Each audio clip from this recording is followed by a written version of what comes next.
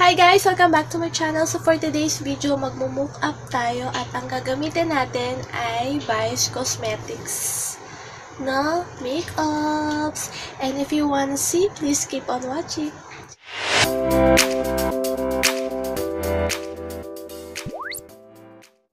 So yan guys, nag-moisturizer lang ako. Ayan. Siyempre, bago tayo mag-makeup, dapat mag-skincare muna tayo, ba diba? So, first, ang uh, gagamitin ko is ito. Ito guys, yung mga ipapakita ko is mga nabili ko last na nag-sale yung SM North.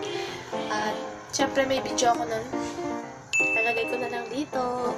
Ayan. So, ito mga mostly is nabili ko siya ng super sale and great deals talaga. So, ayan.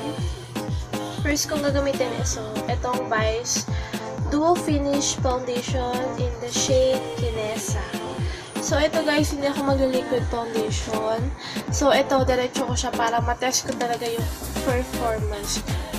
Kasi, diba guys? So, gusto natin yung magaling na performance. Char. So, yan guys. Ito, oil control, buildable, and blurring. And my SPF 25 siya guys. So, pwede na guys. So, pwede na kayo hindi mag-sunblock or sunscreen. So, ito yung tsura niya. So, may pop siyang kasama. And, tatry ko siya. Shade niya. Diba? Acidic pala ako guys, kaya hmm, medyo lighter yung in-advise sa akin ng beauty consultant ko. So, yan. Lalagay ko siya sa fab. Wait, pwede pa siyang basa. Pero, ewan ko guys. Pero lalagay ko siya ng tuyo. Ayan. I-itatap ko lang siya. Unahin ko yung center of my face. Yung half muna. Para makita natin.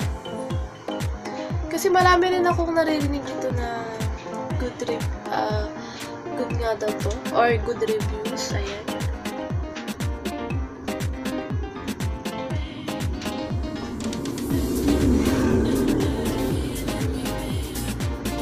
So, ayan guys.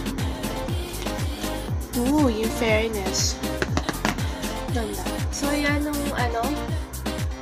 Ito yung may Vice Pow Dual Finish Foundation. Ito yung wala. So, ayan. Kitang-kita na mattify niya yung aking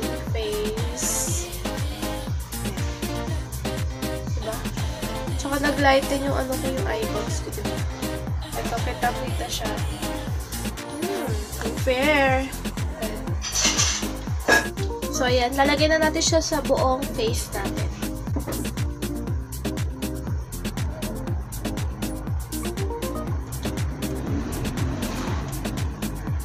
Yan, sa ating airport.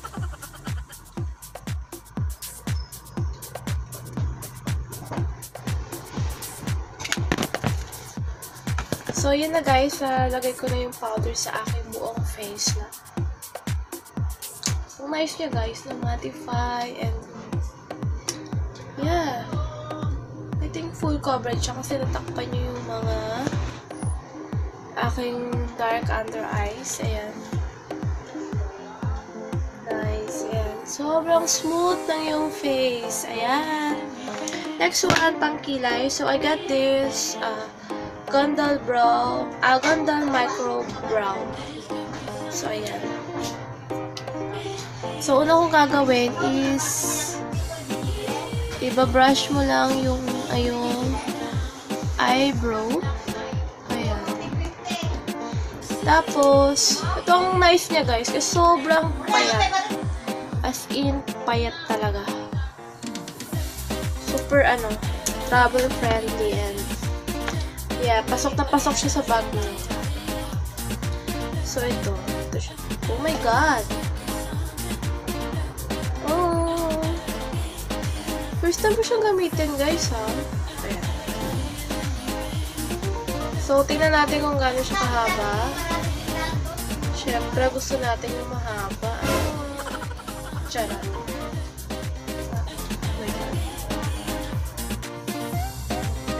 Mahaba siya guys. Hindi ko na siya itotodo guys ha, kasi baka din na siya bumalik. Tulad ng ex mo. So, ang shade ko palang kinuha guys is ash brown. Kasi siya yung pinakamalapit sa kulay ng buhok ko. Which is black. So, ayan. Gawin na natin siya guys. So, ayan.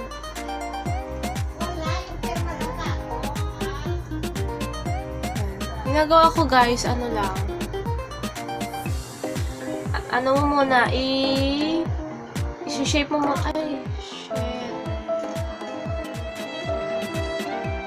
Naputol siya guys. My god. Mm. Like that. So, sobrang liit na lang yung ah, ilalabas ko. Madali naman siya kumulay, guys. Kasi madali, ma- mabilis siyang maputol. So, maliit lang yung ilalabas mo para hindi sayang besh, diba?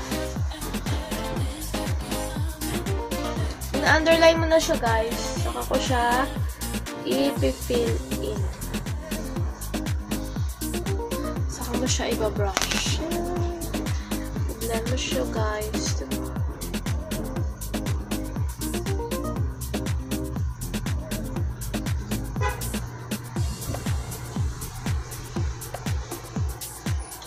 Nice. Pang natural lang siya, guys. And sa kabila naman.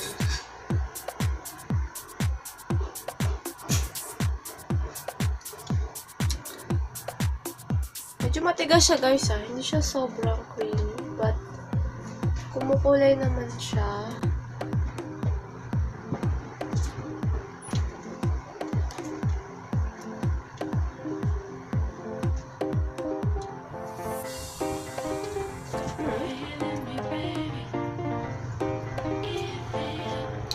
Okay naman siya guys, pero kailangan mo talaga magpabalik-balik kasi hindi siya sobrang creamy.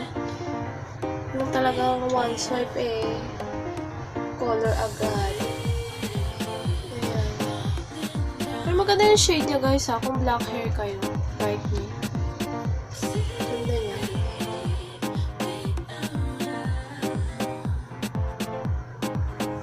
Ayan guys, pag na-outline niyo na yung brow niyo, sa kanya siya i-blend out. Siyempre, blend out natin para bongga.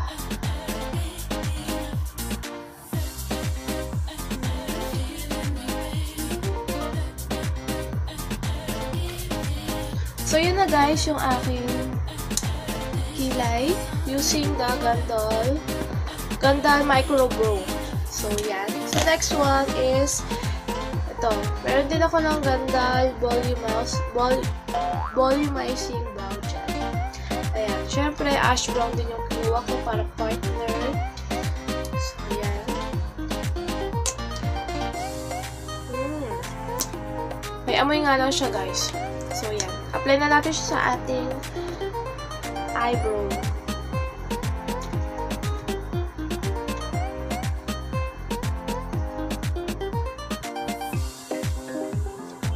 So, yan. Gusto yung dito sa may ah harapis. Uy, ang ganda guys. Parang natural brows lang, diba? Diba? So, ayan na yung aking kilay, guys. Ayan. Ganda, guys. Pang natural lang.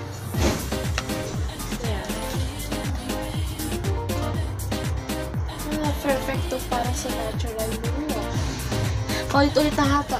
Ulit-ulit na ako, guys. So, let's proceed to the eyeshadow. I got this BT21 Vice Cosmetics Vice eyeshadow palette with in the collaboration of BT21.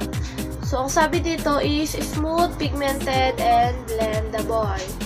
So, guys, ang ganda ng packaging. Super nice.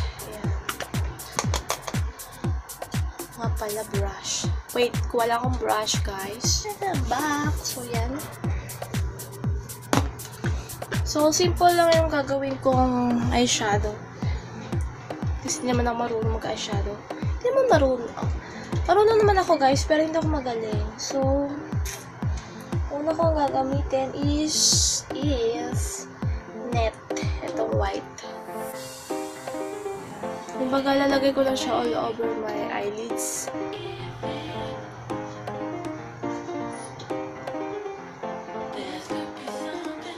Diba? Para magkaroon lang tayo ng ano dyan. Ng base. Ganun. Next one is, ito. Gagamitin ko tong, ito. Si Set. Katabi ni Net. So, lagay ko lang siya over my lids ulit. Ayan. Ang problem ko lang dito guys is wala siyang. Kulay naman siya guys. And medyo powdery so tap the excess. Then, ayan.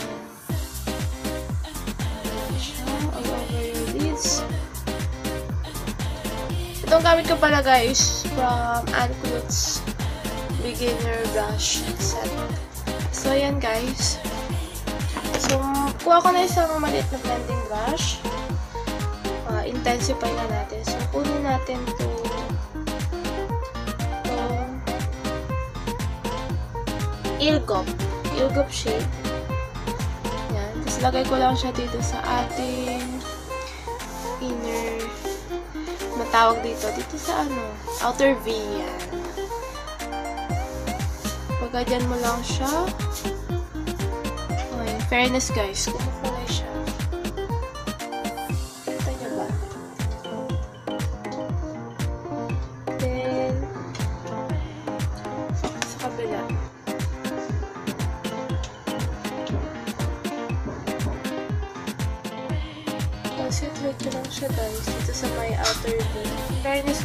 kumukulay siya. Ayan. Kung may mga harsh line, balik lang kayo sa transition shade mo. At i-blend nyo lang siya. Ayan. Ayan guys. Kita nyo ba? So, ayan. For the center of my eyes, kunin ko tong ano guys. Itong pink. Ganda niya. This is dull. Lagay ko lang siya sa ating center of the eyes. Uy, ang nice. Kamay na lang guys kasi mas madali pag kamay-kamay, di ba? Madali siyang i-blend. So, yun ang aking eyeshadow guys. So, ayan, maglalagay din ako sa aking lower lash line. Kung anong nilagay mo sa taas, yun din.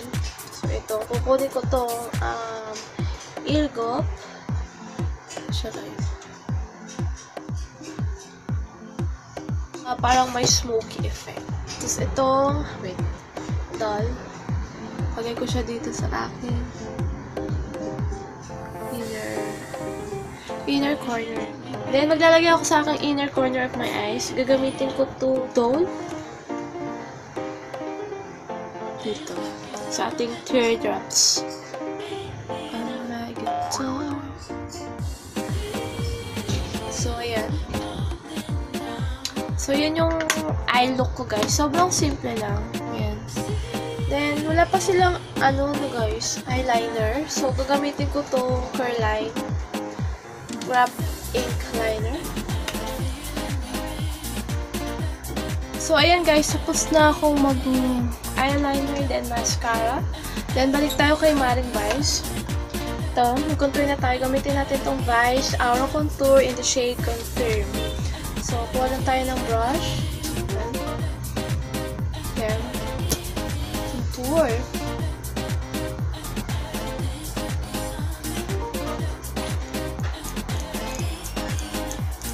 Ayan.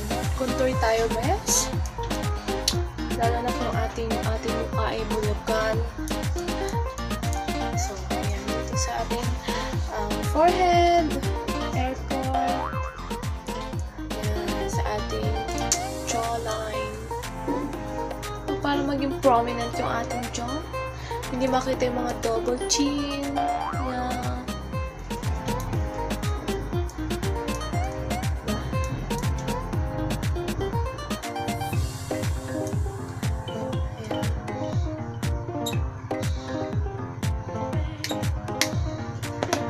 Then, huwag kalimutan ng ating nose. Siyempre, kung wala ka talagang, mm, ako guys, kailangan natin mag-nose line. Parang, hmm, ma-enhance ang ating tangs sa ilong. Diba? Talagay ako dito.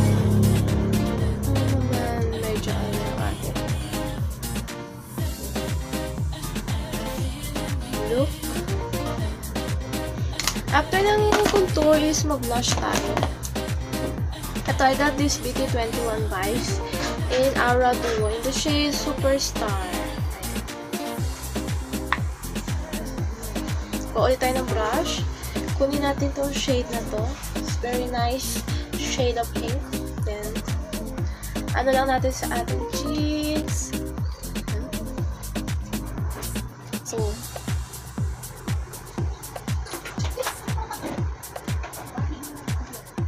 pink. So, ayan. Sobrang ganda, guys.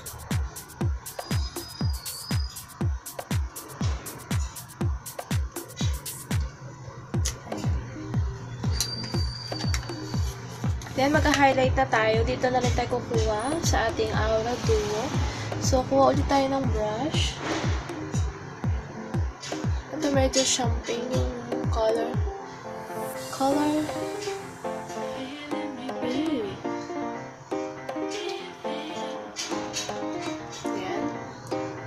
Other side.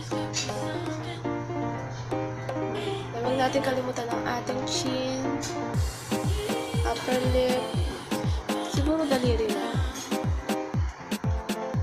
Siyempre sa nose.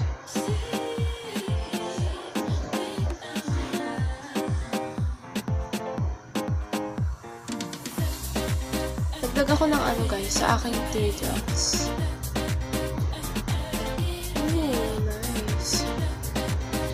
Ating forehead, mga forehead. Sobrang laki mga char. Diba parang glowy-glowy tayo. Lagay ako dito sa aking baba ng kilay. Highlight talaga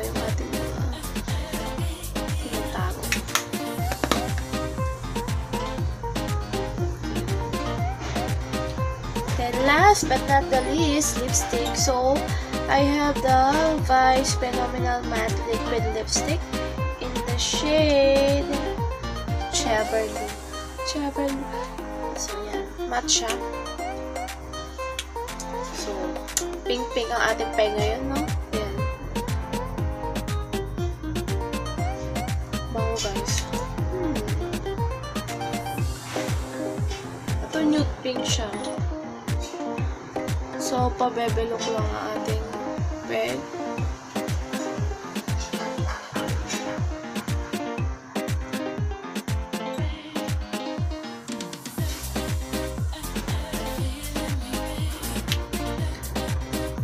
So yun guys, ipa-finalize ko lang tong look and I'll be back.